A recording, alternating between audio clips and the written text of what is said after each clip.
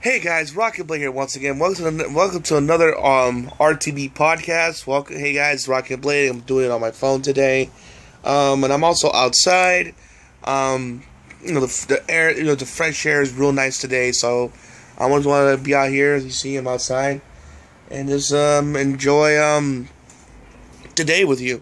Um, well, in case you already know, late last night at least 10 of you saw the video anyway, but it, it's everywhere at this point that, um, unfortunately, Chyna from the WWE has passed away. It's, it's sad. Um, I, they still don't know the details what, how she died. The California police, I believe, when she died at, is investigating her death, what happened, and trying to figure out the situation. Then, as you know, you know, as I'm going through the day, you know, doing my chores or whatever now around the house, um, my brother, call, you know, knocks on my door to tell me that Prince died to, to, today, and I'm like, holy shit! I mean, I'm not always the biggest fan of Prince, but I know who Prince was, and I do know who Purple Rain. He did some songs here and there that I've heard of, and how Dave Chappelle did a a comedy sketch of, of Prince. So at least through that, I know who Prince was. I mean, he was parodied by Dave Chappelle, so it's like I know who Prince was, and for him just to just be gone the way he, just for him to just suddenly just just die like that was just out of nowhere and shocking. Granted, I heard the the latest thing I heard he had a he was battling the flu or something, and he had to cancel a couple of tour dates. According to I got the news by the way from also I got the news from Philip DeFranco, good great um, YouTube channel by the way. You should definitely check it out for news and stuff. And he just died and it's shocking. It's just like, man, I was just I was just kidding around saying, man, who's next? And then, Lord behold, Prince was the next one to go. I mean, ah, God, you know, I, I hope I didn't jinx it, but damn, you know, I didn't, I didn't, you know, shit, you know, I feel bad for the family of Prince and just fans in general of Prince. This is a really sad time for you guys. I mean, I mean, I wasn't affected by him personally, but I respect the art and the music he did and he interesting. I mean, he, you know, he did some very controversial things at the time during the '80s, but he didn't care. He did it. He did. You know, he he didn't compromise himself for the sake of others. He did what he wanted to do, and and, and believe. And in my opinion, it was because of that why he was massively successful. You know, and it's just sad to hear he just passed away. I mean, serious. I mean, I mean, uh, not so long ago it was David Bowie, you know, Chyna, and then now you know Prince. I mean, we're losing legends, man. It's it's so sad, but damn, 2016 so far in terms of so far it kind of sucks. I mean, you know, we, we lost Undertow, we lost GameTrailers, which is a great channels. Now we're losing great, you know, people. It's just this is so, so far 2016 hasn't been all that great. I mean, besides a couple of great movies here and there, you know, with um Deadpool, Bever, Superman, Hardcore Henry. I mean, this has been just been pretty kind of depressing, you know. Just Jesus, man. I just hope it gets better from here. That's all I hope for. That's all we can hope for. And before I move on to the next subject, all I want to say is to to people that are Prince fans and Chyna fans, especially me. I'm a, I'm a huge Chyna fan. Like I mentioned in my my video, my other video. You know, besides Lita and Trish she was a, she made me watch the, the women's division. And I said I grew mad respect for her because not she was challenging men, but she like like I said before, she became intercontinental champion, and she was the only woman to do so, not once but twice, two time intercontinental champion. And like I said before, despite you know her being in the porn industry, I do hope that the WWE put her in the Hall of Fame. And um and also um I just hope that with Prince he can rest in peace and also figure out what happened. Because even with Chyna, as I reported I still don't know what happened. If you if you guys want to give me an update, at least with Chyna, please write in the comment section below what happened to Chyna. But as far as Prince, it just happened, so it, it's still fresh. So we don't know what's happening. So it's just it just seems like a sad day indeed. Um. All right, so then let's go to UFC news now. I mean, even that's kind of depressing and confuse. It's kind of depressing and confusing, and, and let's let's just dive right in. Okay, so I got news from my brother, who's a big UFC fan like I am, because he subscribed to the to uh, Sherdog.com, a great website to find out the latest on MMA news and stuff. Um, he told me that um, it blew up everyone Facebook and Twitter and stuff that Conor McGregor, Nate Diaz, and CM Punk retired. You know, at the time. then I realized, and then, and then I'm hearing that Nate Diaz is just kidding. He was just trolling Conor, and then, and then now I'm hearing now I'm recently hearing that Conor's not really retired. That you know he might be in the two, UFC 200 card fighting someone else. It, it, I don't know, but but but but as it's still as it's so I don't know if that should have changed or not. I'm not sure if that's changed or not. But that's the latest I've gotten so far, and um, CM Punk has retired, but but it's still confirmed that CM Punk is in fact still retired. If you want to guess if on CM Punk, if you want to ask me for my opinion why I believe CM Punk retired, if you want to ask my opinion, I believe my opinion on that is, is simply that I think when during training session, I think he got a revelation that maybe he can't hang with, he can't do this. I mean, he maybe doesn't want to get embarrassed on a global scale, so that's why he um decided not to want to do it. And I understand the last thing you want to do is go to a UFC event, like maybe, for example, maybe let's say he's gonna wrestle UFC, like performing UFC 200, and then gets knocked down in front of hundreds of thousands of people, plus the millions of people watching on pay per view, you know, and people talking smack, oh, you got knocked out, and then you know people are, they're they're assholes that are quick to jump on that bandwagon saying, oh, you're nothing but a failure. So maybe those combination of things that you know he decided to retire and not do go that to go down that path. Do I still want him for giving it a try? At least give it a try. But if he feels that he is, that's not for him, well, I wish him best of luck and whatever else he does. You know, I think he's a cool guy, minimum person. I think he's an awesome guy. Um, I just hope, I just wish him best of luck in his future endeavors, and I hope he succeeds in what he does next. Um, so so now as far as um, Conor McGregor, it's just I'm glad UFC. I read a comment that you know UFC on um some fight named Jamie Vollmer, I believe his name is. I could be wrong, mentioning the fact that UFC lost some some lost lost its power to let to do this kind of shit. I'm like, no, what the UFC did was smart. You see, it's they didn't let one fighter be bigger than the sport because then you do that, then you go down the path of guess what, boxing. Then that's right. I know you boxing fans hate to hear this, but that's true. That's why. And I'm and I'm and don't get me wrong. I'm a huge boxing fan. Of, of I'm I'm a fan of you know Evander Holyfield, Muhammad Ali, you know Oscar De La Hoya, Manny Pacquiao. I mean, I'm a huge box. I mean, I'm a huge boxing fan and a, and a fan of those fighters. You know, I'm saying I watch all their fights and stuff.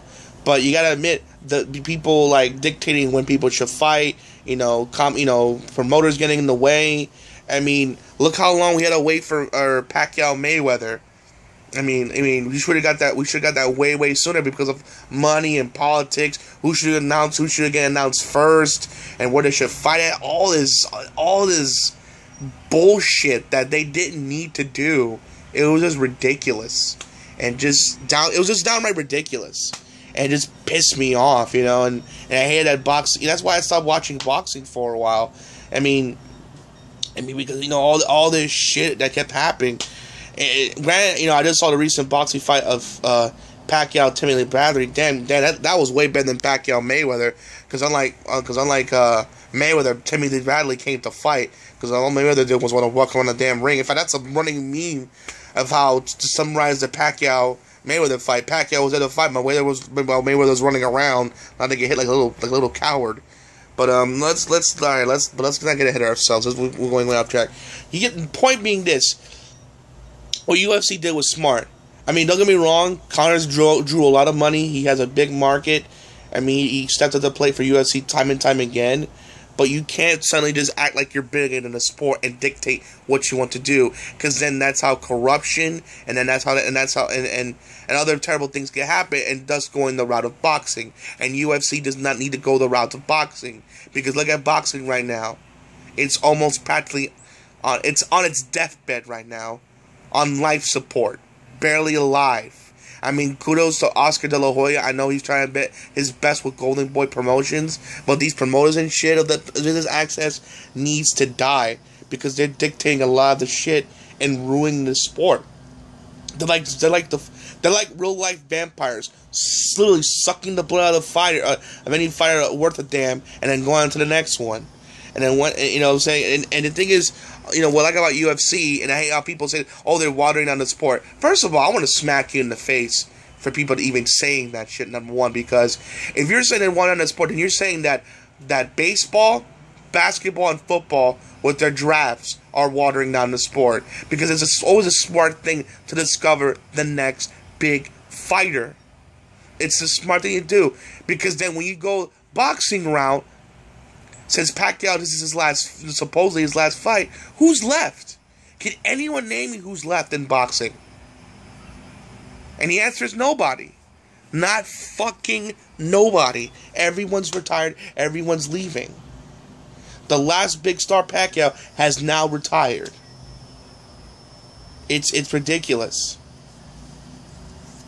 You know what I'm saying? That's why I'm glad I'm I'm I'm standing firm. I'm thank God UFC did what it did and I'm proud of them. You know what I'm saying?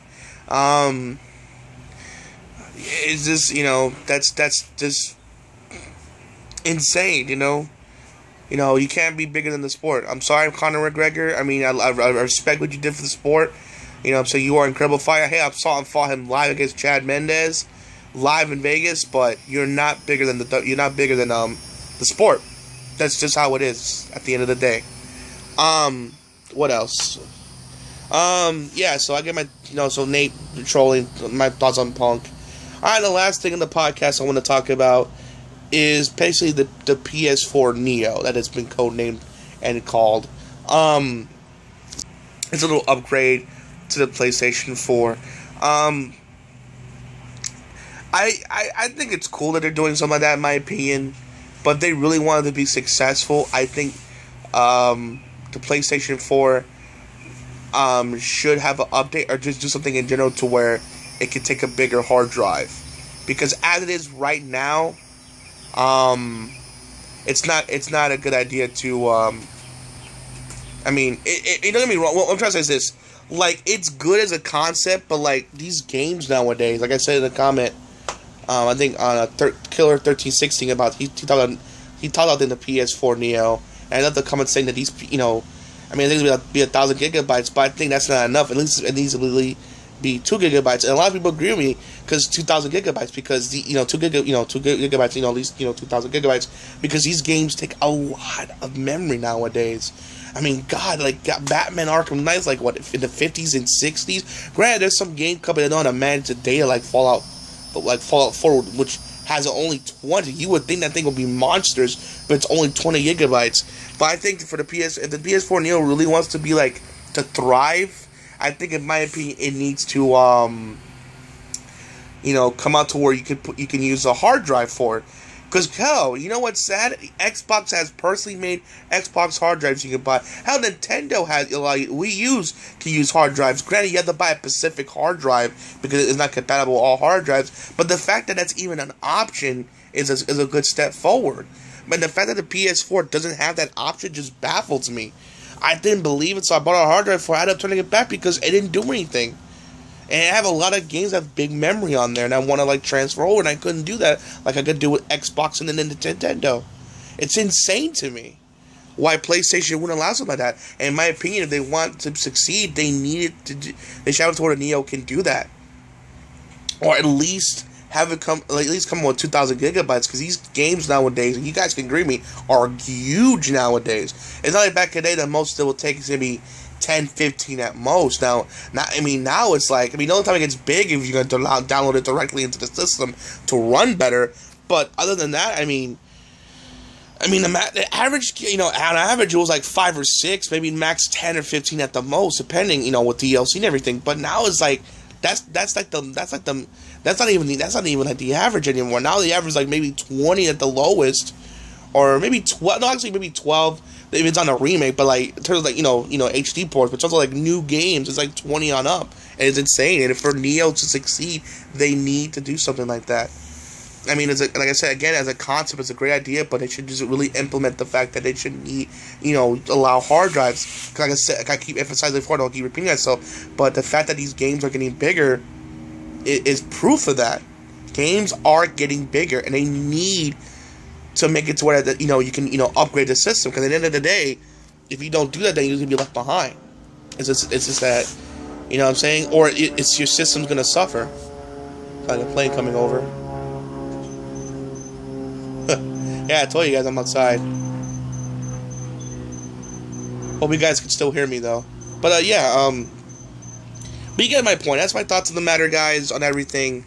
So that's the base. That's that's the end of the podcast in general. So I'm gonna wrap things up with you know, may Chyna and Prince rest in peace.